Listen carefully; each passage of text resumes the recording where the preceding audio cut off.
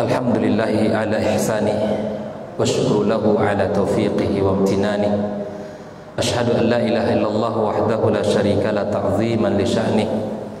وأشهد أن محمدا عبده ورسوله الداعي إلى رضوانه.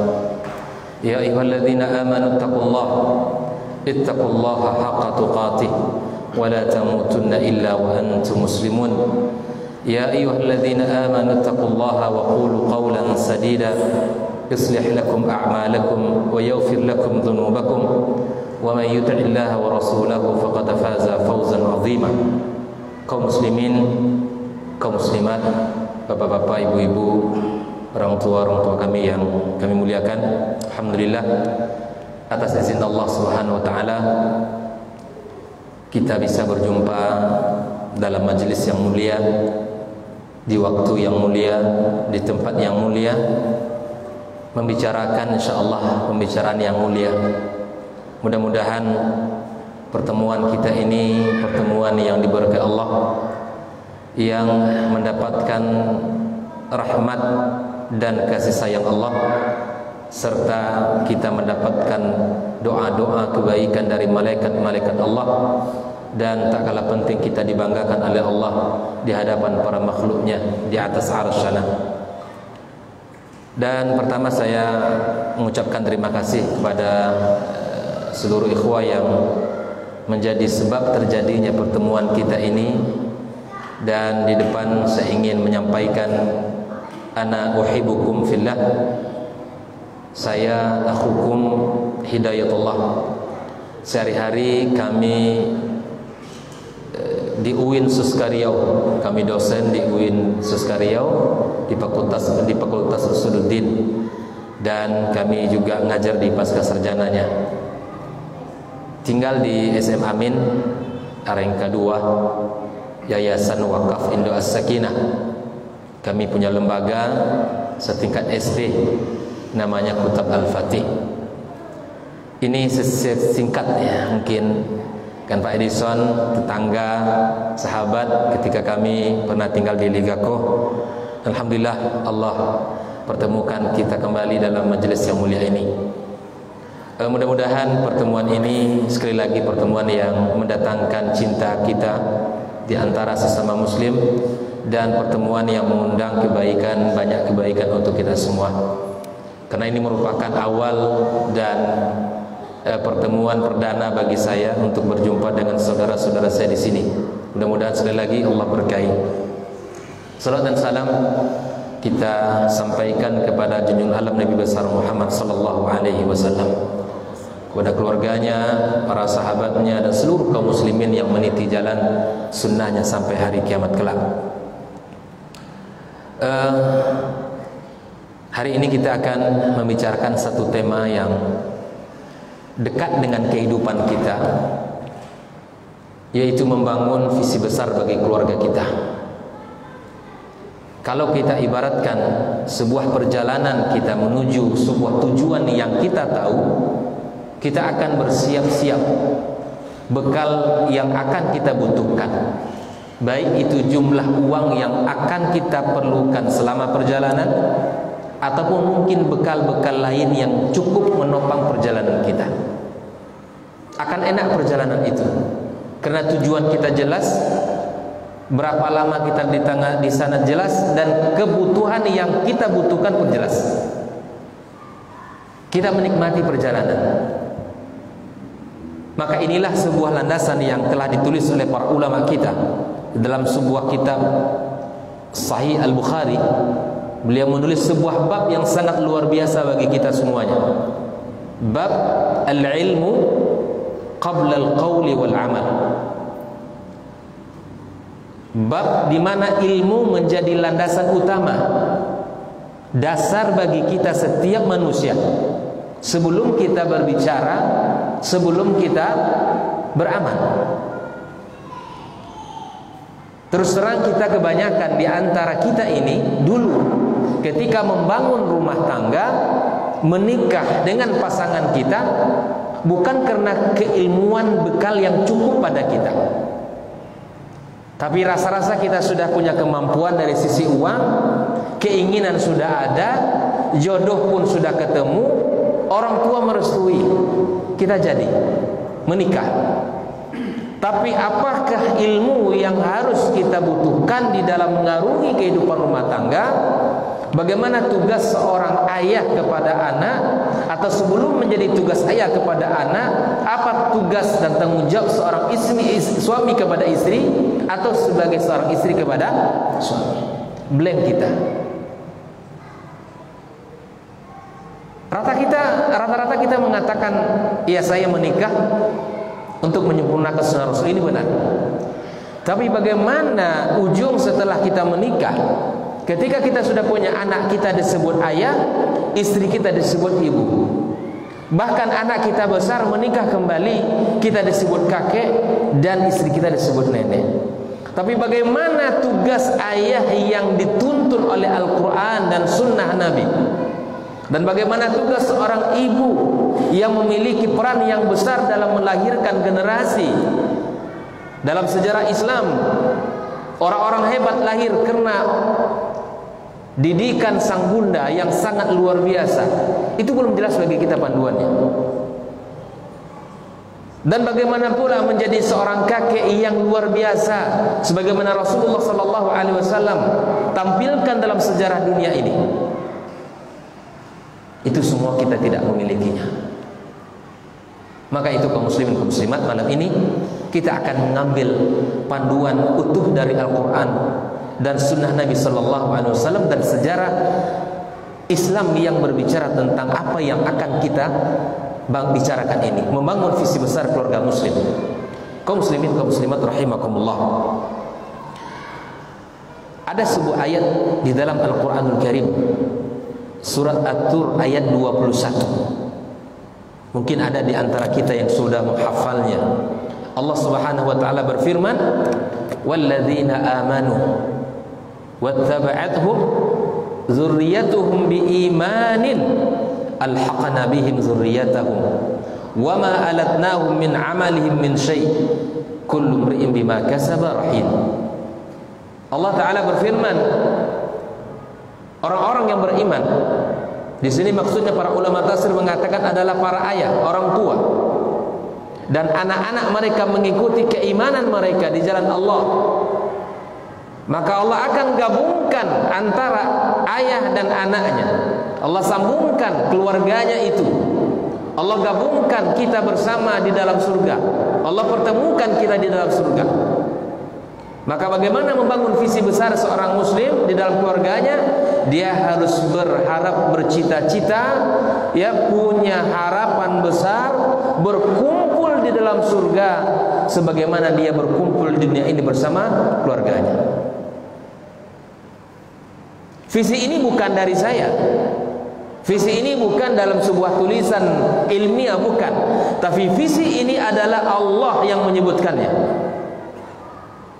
Allah yang menggariskannya. Di dalam kitab sucinya yang mulia.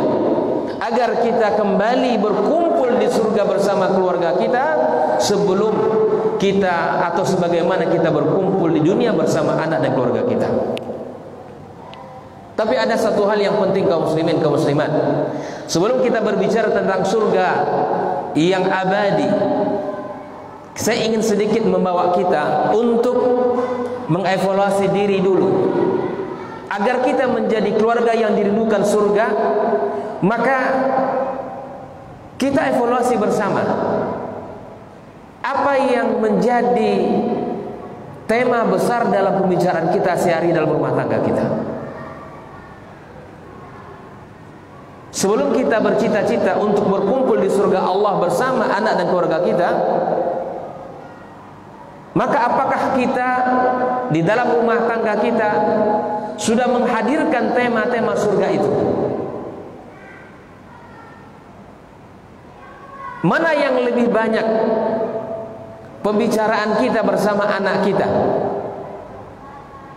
Bicara tentang pekerjaan amal yang mendekatkan ke dalam surga ataukah seputar kehidupan dan kebutuhan kita saja? Katanya kita merindukan surga. Katanya kita ingin masuk surga bersama keluarga. Tapi apakah keinginan kita itu sudah sejalan dengan usaha kita? Apakah amal yang kita lakukan bersama keluarga sudah sejalan dengan cita-cita mulia kita? Maka mari kita evaluasi kaum muslimin kaum muslimat. Barangkali pembicaraan kita di rumah masih seputar makanan yang kita butuhkan. Masih seputar pekerjaan yang kita kerjakan. Masih seputar kehidupan. Masih jauh dari pembicaraan surgawi. Masih jauh dari pembicaraan amal-amal yang mendekatkan kita ke dalam surga dari hari terbit fajar dari setiap hari terbit fajar sampai malam hari hari menutup dirinya maghrib masuk mari kita cek satu persatu apa pembicaraan kita dalam rumah tangga kita? Baik itu kita kepada pasangan baik itu kita kepada anak-anak kita yang yang ada di rumah kita. Mana yang lebih banyak kita bicarakan kaum muslimin Mana yang sering kita sampaikan kepada anak kita? Maka ini menjadi hal penting untuk kita evaluasi bersama. Sebelum kita masuk ke dalam surga ya abadal abidin yang di mana kekal di dalamnya kita di sana insyaallah. Maka kita bicarakan dulu bersama pasangan kita. Maka di sinilah pentingnya hadis Nabi sallallahu alaihi wasallam tunkahul mar'atu li arba itu. Nikailah wanita karena empat Karena mungkin kecantikan Hartanya, keturunan dan agamanya. Tapi Nabi SAW menekankan Pilihlah yang beragama. Memiliki pemahaman dalam bidang agama. Karena ketika pasangan kita Memiliki bekal agama yang cukup Menikah dengan seorang laki-laki yang memiliki agama yang cukup Maka Disinilah letak pentingnya Karena pembicaraan orang yang memiliki ilmu Akan tidak sama dengan pembicaraan orang yang tidak ber Inilah pentingnya kita mencari pasangan orang yang beragama. Di sini letaknya kita untuk memilih orang-orang yang memahami agama ini. Nah kalau kita berbicara tentang visi besar ini kaum muslimin kaum muslimat maka mari kita bersama-sama mengawali visi ini dengan melihat surat At-Tur ayat 21 ini. Allah Ta'ala katakan walladzina amanu orang tuanya beriman. Ini syarat mutlak. Orang tua beriman dan keimanan orang tua ini diikuti oleh anak-anak mereka itu. Syaratnya itu keimanan yang baik yang terjaga yang sesuai dengan pemahaman yang dituntun oleh Al-Quran dan Sunnah Rasulullah dipahami dengan pemahaman para sahabat para tabi'in dan tabi' tabi'in. Karena itulah dasar agama yang paling bagus. Apa dalilnya? Rasulullah sallallahu alaihi wasallam mengatakan khairul quruni qarni Sebaik-baik generasiku adalah sebaik-baik generasi adalah generasiku kata Rasulullah dan generasi setelahku dan setelahnya. Coba lihat.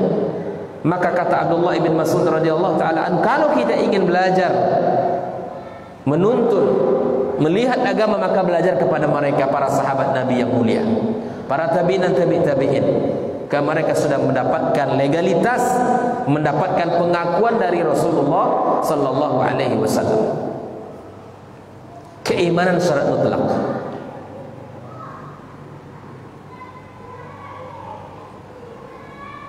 Walladzina amanu wattaba'atuhum dzurriyyatuhum biimanin. Nah kata para ulama keimanan itu diikuti oleh anak mereka biiman. Disebutkan dalam ayat ini nakiro. Nakiro artinya apa-apa saja yang penting kita beriman. Anak kita beriman Masalah amal itu bisa berbeda-beda. Kalau orang tuanya rajin beribadah Qiyamul dengan itu dia masuk surga Rahmat Allah ya, Dengan amalnya itu Allah kasih sayang ini Allah berikan rahmat kepadanya Kemudian dia masuk surga. Bisa jadi anaknya bukan karena rajinnya dia beribadah kepada Allah. Tapi bisa jadi karena dia ahlu sadaqah misalnya. Makanya di sini kata para ulama di antara rahasianya kenapa Allah katakan bi iman dinakirahkan di situ iman itu oleh Allah. Karena yang menjadi kata kunci adalah keimanan adapun prestasinya boleh berbeda-beda yang mungkin di sini adalah ahlul Quran, yang di sini mungkin ahlul siyam, yang di sini mungkin ahlul sadaqah, yang di sini mungkin jihad dengan hartanya dan seterusnya. Yang di sini mungkin birrul ya dan seterusnya. Maka syarat mutlak itu keimanan. Tanamkan visi besar ini kepada anak kita. Tanamkan visi besar itu pada diri kita, pasangan kita dan kepada anak-anak kita. Inilah yang dilakukan oleh Yakub alaihi salam. Nabiullah Yakub bahwa mendidik anak itu adalah jalan panjang. Tidak cukup mendidik anak itu sampai dia habis balik selesai enggak. Mendidik anak itu adalah pekerjaan yang sangat panjang. Bahkan sampai menjelang kematian itu adalah tugas kita mendidiknya. Walaupun anak itu sudah menikah, Bukan berarti ketika anak itu pindah kepada suami. Kalau anak kita perempuan misalnya, dia tanggung jawab pendidikan memang pindah kepada suami. Tapi bukan berarti ayahnya tidak boleh memberikan pendidikan. Jangan salah pahami. Itu kan? Ini tugas kita sebagai orang tua mendidik anak perempuan sampai kapan Ustaz? Ya. Memang ketika sudah menikah qabil tu nikahaha itu berpindah tanggung jawabnya, baktinya dari orang tua kepada suami. Tapi ayah tidak bukan berarti berhenti di dalam memberikan pendidikan. Kalau dia tidak taat kepada suaminya, keras kepala kepada suaminya, maka ayah memiliki peran untuk memberikan nasihat. Itu pendidikan. Apalagi anak laki-laki Pak? Yang tidak boleh putus kita dengan mereka. Kita harus selalu membimbing mereka. Maka Nabi Allah Ya'qub alaihissalam Pelajaran mahal tentang pendidikan anak dari beliau. Sampai ajal ketika beliau sakit menjelang kematian itu bertanya Pak kepada anaknya Meyakinkan bahwa dakwah yang beliau sampaikan selama ini Apakah telah sampai kepada anak-anaknya tadi Apa kata Yakub alaihissalam? Ketika beliau sakit menjelang kematian, dia berkata kepada anak-anaknya, "Ma ta'buduna min ba'di?" Dipanggilnya Pak anak-anak itu, "Wahai anak-anakku, apa yang akan kalian sembah setelah aku meninggal dunia?" Ini sakit menjelang kematian, Pak. Oh jangan dikira anak kita sudah S1, S2, S3 berhenti kita pendidikan tidak. Pendidikan sekali lagi proses yang cukup panjang. Bahkan sampai menjelang kematian pun kita harus mendidik anak kita. Maka Yakub menanyakan hal itu kepada anaknya. Apa yang kalian sembah setelahku meninggal nanti? Dengan yakin dan mantap anak-anaknya mengatakan qalu na'budu ilahaka wa ilaha abaika Ibrahim Ismail wa Ishaq ilahu wahidah wa nahnu lahu muslimun. Dengan yakin anak beliau mengatakan anak-anaknya mengatakan kami akan menyembah Tuhanmu dan Tuhan kakek nenekmu. Artinya Tuhan sebelum Tuhan daripada Ibrahim eh, Ismail Ishaq ilahu wahidah Tuhan yang esa ayah. Coba lihat. Tenanglah kita kalau keimanan itu ada pada anak kita sebagai orang tua. Sangat tenang. Kita akan tenang meninggalkan dunia ini ketika keimanan itu tertanam kuat dalam hati anak kita Pak. Maka saya katakan kepada para orang tua yang penting usaha kita mengawal mereka mendidik keimanan mereka memupuk keimanan mereka itu penting Pak Karena banyak orang tua hari ini yang yang peduli adalah pada perhatian materi. Kepedulian mereka itu pada materi. Bahkan mengukur kesuksesan anak itu ketika anak mendapatkan pekerjaan yang menghasilkan uang banyak. Saya tidak katakan itu tidak sukses, sukses. Tapi bukanlah menjadi ukuran Islam. Bukan menjadi satu-satunya ukuran keberhasilan seseorang. Makanya ketika Umar bin Abdul Aziz meninggal dunia, kaum muslimin, kaum muslimat, ya tidak memiliki apa-apa. Tidak memiliki harta yang banyak yang ditinggalkan padahal dia khalifah. Ada pemimpin hari ini yang meninggal dunia tidak meninggalkan apa-apa pada anaknya. Tidak ada. Melimpah ruah harta, tanah, gedung, rumah dan seterusnya. Banyak sekali mereka tinggalkan. Tapi ketika Umar bin Abdul Aziz meninggal dunia, saat-saat sakit meninggal dunia itu dipanggil oleh salah seorang sahabatnya. Wahai Umar, engkau wasiatkan kepadaku atau selain aku agar bisa mengurusi anak-anakmu setelah kamu meninggal dunia. Mereka cemas tidak memiliki apa-apa yang harta yang ditinggalkan kepada anaknya. Mendengarkan perkataan itu Umar minta didudukkan. Kata Umar terima kasih atas nasihatnya. Ketahuilah wahai saudaraku kata Umar. Aku tidak akan berikan sesuatu nasi kepada anakku kecuali itu menghak dia.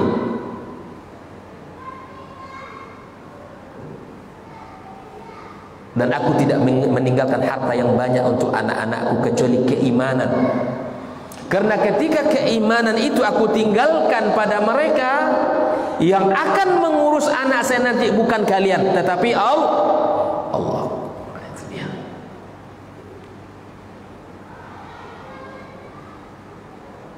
Wa huwa yatawalla salihin Allah yang akan mengurusnya Namun ketika saya tinggalkan anak saya dengan harta yang melimpah ruah Tetapi keimanannya dangkal dalam diri mereka Keimanan itu kering dalam jiwa mereka Maka aku takut dengan harta yang melimpah ruah itu Akulah orang yang pertama yang mengantarkan dia kepada kerusakan. Karena orang memiliki harta banyak Tidak dikawal oleh iman Itu akan berpotensi rusak Tapi kata Umar ketika aku tinggalkan mereka dengan keimanan, ketakwaan kepada Allah tapi tidak aku tinggalkan harta yang banyak, aku tidak risau. Karena yang akan mengurus anakku nanti adalah siapa? Allah. Ini keyakinan penting, Pak. Maka kita sebagai orang tua tidak boleh terlalu bersedih.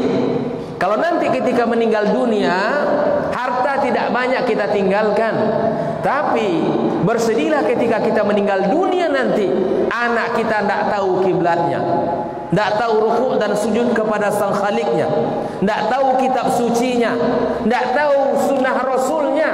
Bersedihlah anda wahai para ayah yang meninggalkan generasi anak keturunan yang jauh dari agama.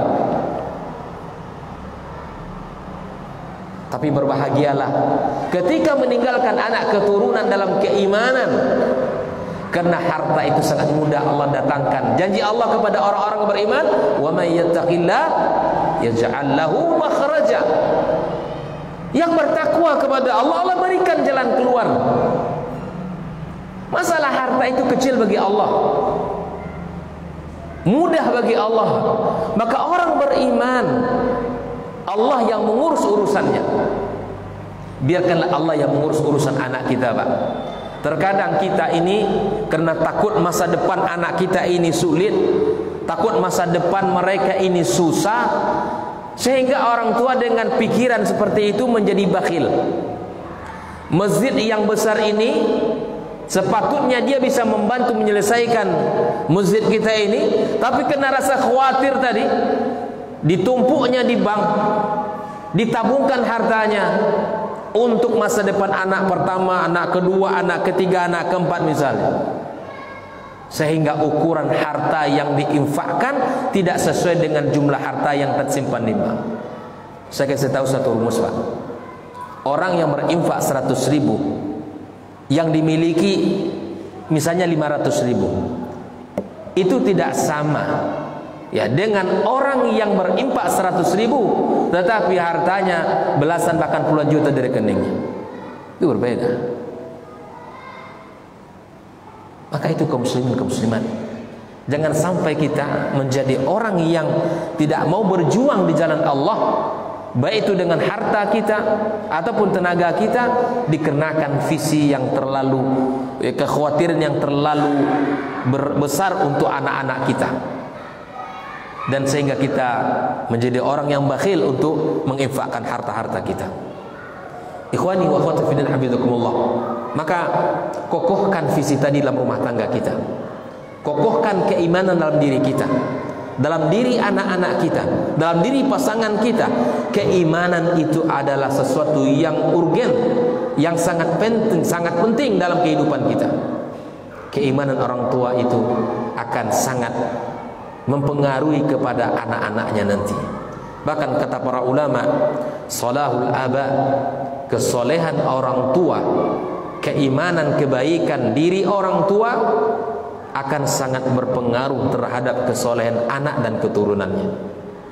Dulu Pak, para ulama ketika mereka melakukan satu maksiat saja, terasa itu maksiat, tapi sebenarnya bukan maksiat. Ada sebuah kisah yang sangat luar biasa. Di pagi harinya tunggangan kudanya itu tidak bisa dikendalikan olehnya. Ibnu Sirin, ulama luar biasa.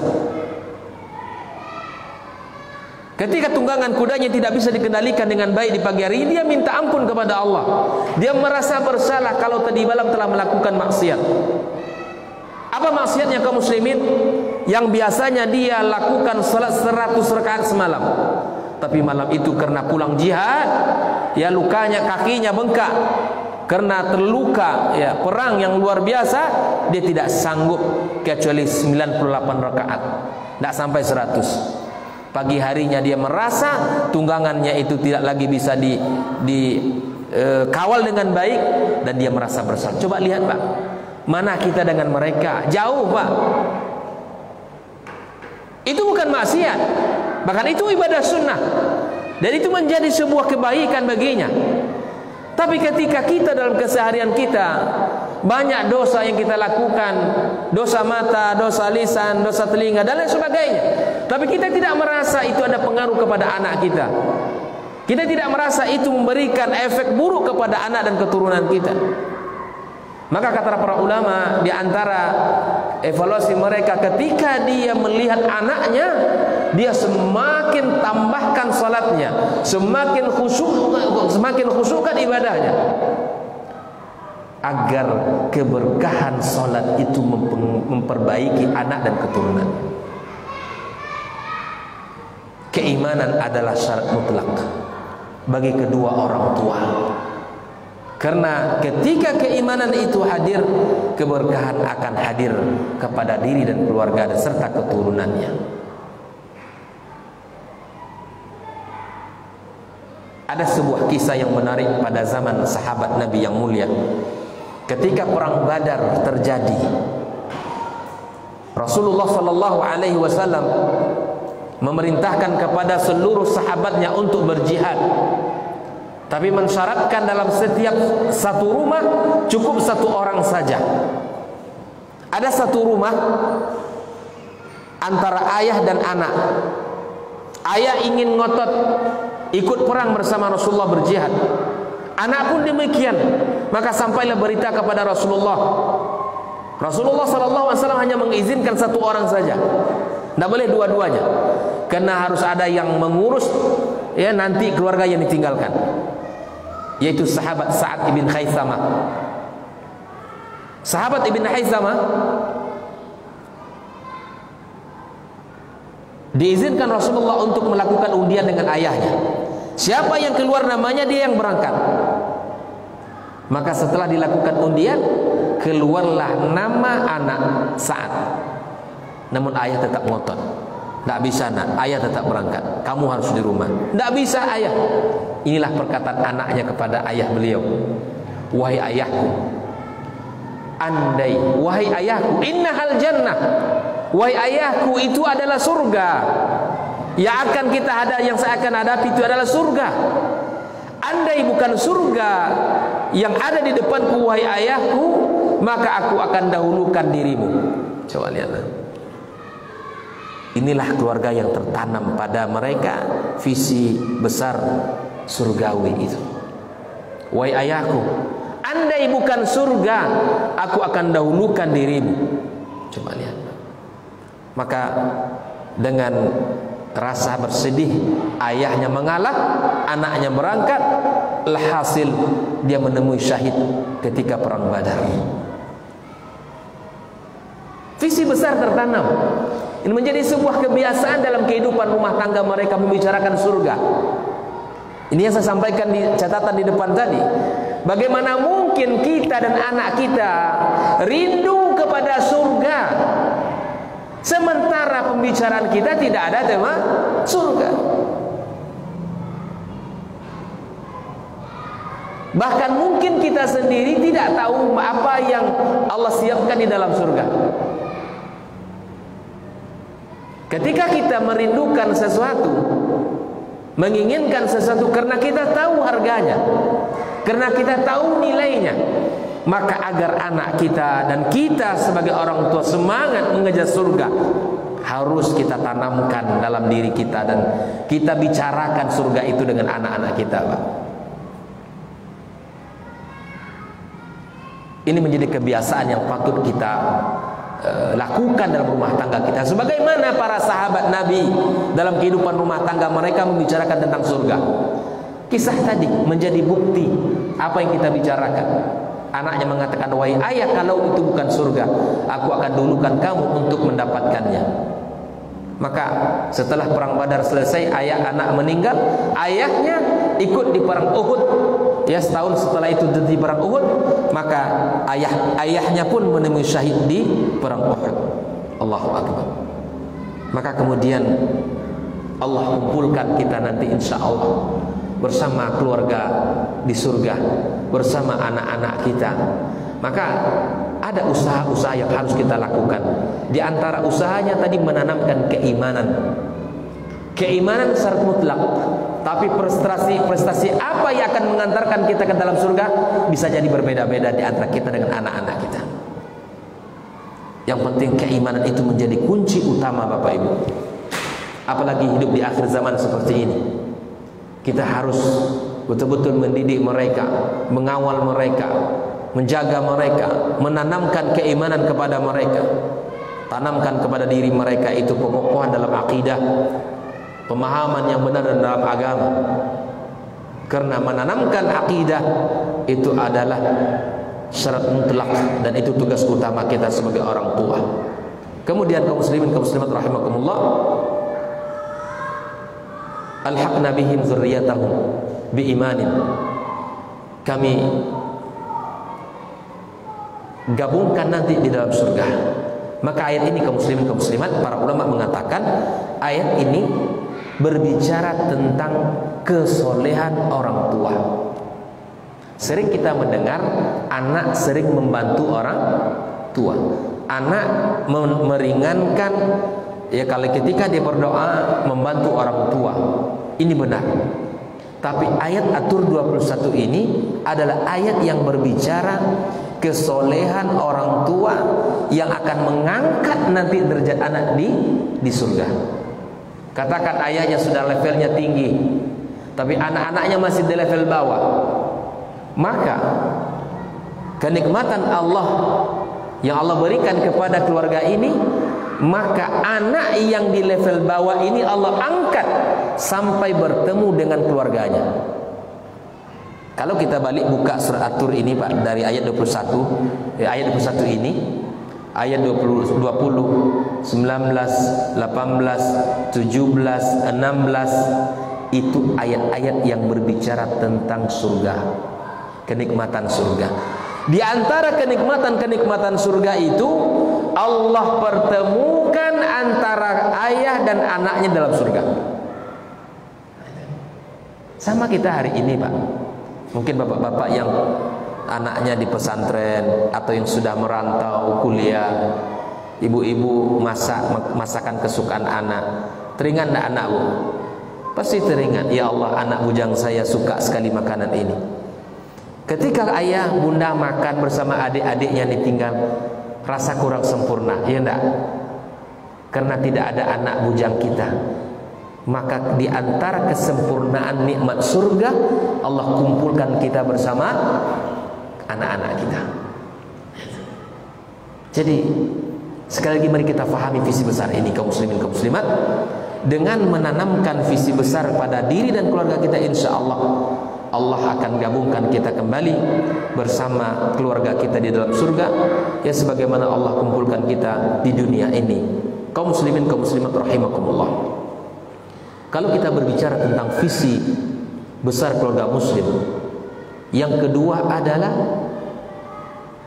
menyelamatkan diri dan keluarga dari neraka Allah.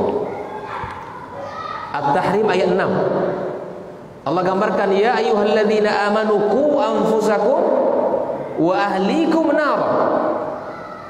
Allah telah gambarkan kepada kita sebagai orang tua tugas yang paling besar, tugas yang paling utama, tugas yang paling penting Orang tua Pak adalah menyelamatkan diri dan keluarga dari neraka Allah Subhanahu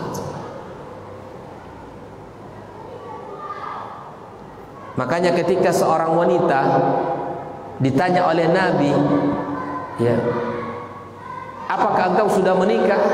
Kata kata dia iya. Maka Nabi berpesan kepada wanita ini, Pak. Fanzuri aina anti minhu lihatlah wahai wanita posisi kamu di hadapan suamimu.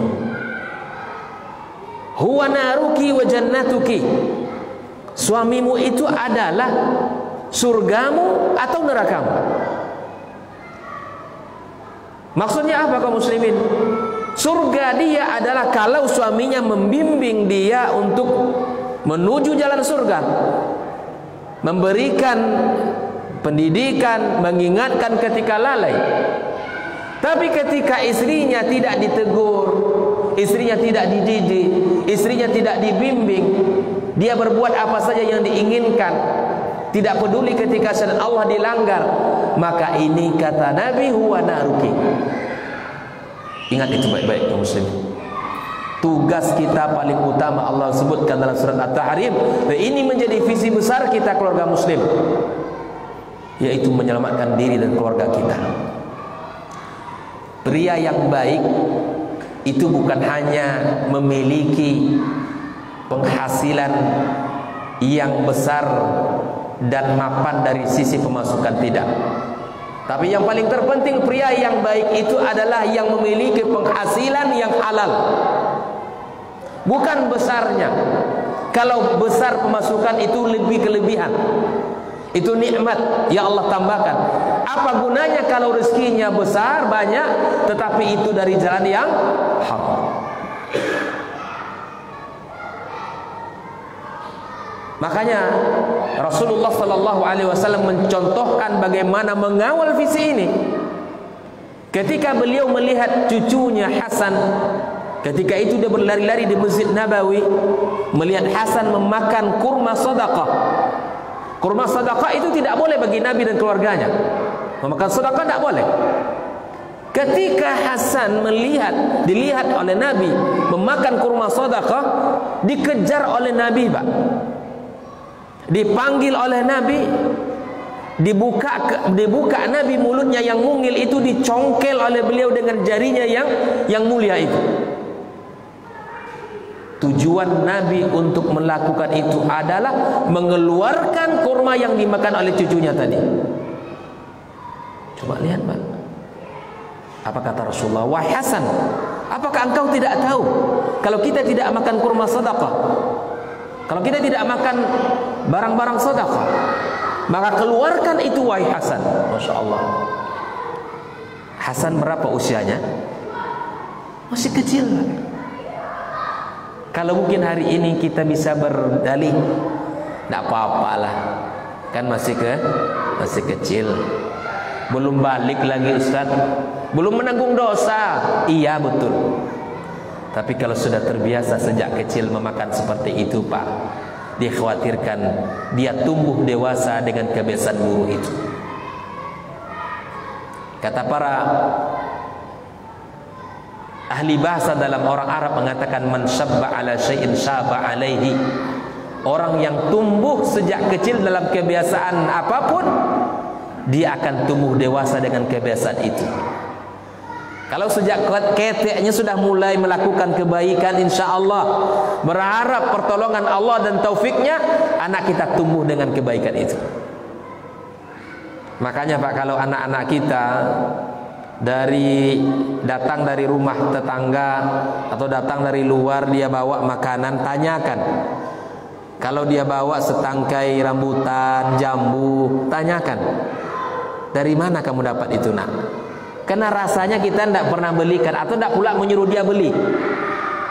Ini nampak anak bawa rambutan setangkai. Asli nak makan sama-sama. Belum jelas lagi barang itu dari mana. Bisa jadi barang tetangga yang diambilnya. Kalau itu eh, tidak kita perbaiki, kita khawatir Pak. Ya itu akan menjadi kebiasaannya nanti bersama ketika dia sudah dewasa nanti. Jeli Pak. Harus teliti. Mainan misalnya. Ini mainan siapa kamu ambil nak? Ayah atau bundamu tidak pernah belikan ini. Ini mainan si fulan. Oh, masya Allah. Diberi atau kamu ambil? Diberi, mah. Kalau katanya diberi, kita tanyakan. Betul tidak dia diberi oleh kawannya? Kalau tidak, kita perbaiki kesalahan itu.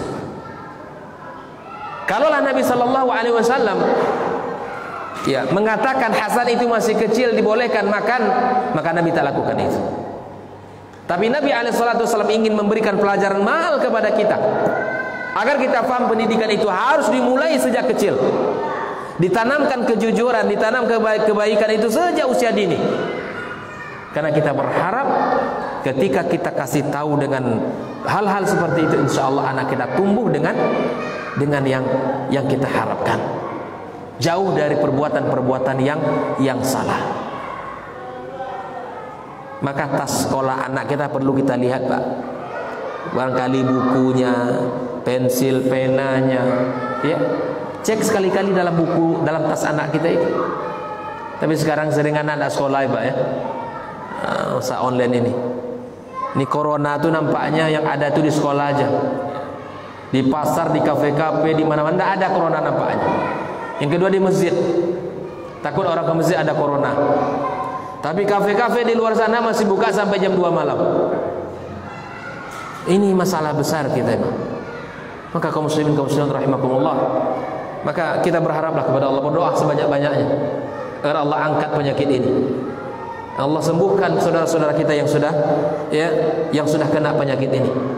Dan Allah mudahkan pemerintah kita untuk menjalankan amanah mereka insyaallah. Kaum muslimin kaum muslimat rahimakumullah. Maka tugas kita sebagai orang tua adalah mengawal menyelamatkan diri dan keluarga kita dari api neraka. Caranya bagaimana kaum muslimin? Harus kita teliti.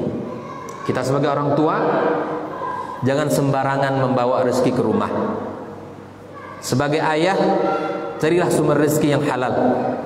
Karena Nabi sallallahu alaihi wasallam mengatakan, ya, lahmun nabata an suhtin fannaru aula Daging yang tumbuh dari sumber yang tidak baik itu neraka yang paling utama mendekat. Visi surgawinya akan hilang. Jangan berharap dulu masuk surga. Karena yang mendekati itu bukanlah rahmat Allah tetapi murka Allah. Maka itu kaum muslimin. Dulu saya kasih satu kisah. Ibu-ibu di zaman dulu ketika suami mereka ini keluar dari rumah ingin bekerja, didatangi suami itu. Dihampiri suaminya. Dibisikkan setiap pagi ke telinga suami. Bang kami sabar dengan kondisi sederhana. Hidup apa adanya tapi dari sumber yang halal. Dan kami tidak akan sabar dengan azab Allah di hari kiamat kelak disebabkan dari sumber yang haram. Setiap hari bisikkan ke telinga suami. Bisikkan ke telinga suaminya kata-kata itu agar suaminya tetap istiqamah di jalan-jalan yang diridhai Allah. Dari sumber rezeki yang baik, dari sumber rezeki yang bersih, dari sumber rezeki yang halal. Walau itu sedikit. Karena sesungguhnya kaum muslimin yang kita cari dalam rumah tangga itu adalah keber keberkahan. Apa sih yang kita cari dalam rumah tangga? Keberkahan. Bukankah doa kita untuk orang pengantin baru apa? Barakallahu laka wa baraka alaika wa jama'a bainakuma Nah, kalau mau kalau kalau ada orang yang mau didoakan kita doakan.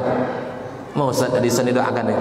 Nah, didoakan lagi itu barakallahu laka. Baik, barakallahu fikum. Sekali lagi yang kita cari dalam rumah tangga itu adalah ke keberkahan. Rezeki yang baik sedikit berkah itu jauh lebih mulia daripada rezeki banyak tapi dari sumber yang haram akan melahirkan amal-amal yang tidak baik. Alhamdulillah ya semoga Allah Subhanahu wa taala memberkahi pertemuan kita. Ya, mudah-mudahan ilmu yang saya sampaikan bisa saya amalkan dan kita semua yang mendengarkan kajian kita dimanapun berada baik dalam masjid maupun yang melihat uh, kajian kita. Dan terima kasih kepada uh, tim Robani dan uh, Kampar Mengaji. Ini tim yang selalu berkhidmat di jalan Allah Subhanahu wa taala yang mereka membantu untuk menyebarkan dakwah kita ini. Barakallahu fikum wa fi juhudikum insyaallah dan seluruh kaum muslimin kaum muslimat dan seluruh ikhwani wa akhwati fiddin yang uh, menjadi sebab terjadinya pertemuan kita. Wallahu taala alam bissawab. Saya minta maaf yang sebesar-besarnya. Subhanakallahumma wa bihamdik asyhadu an la ilaha illa anta astaghfiruka wa atubu ilaik. Assalamualaikum warahmatullahi wabarakatuh.